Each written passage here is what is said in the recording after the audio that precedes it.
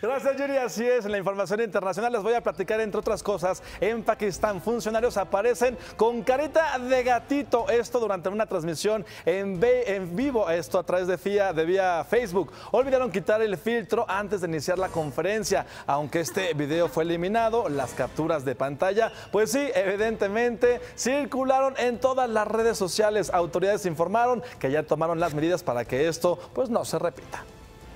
Imagen Noticias con Yuridia Sierra, lunes a viernes 2 pm.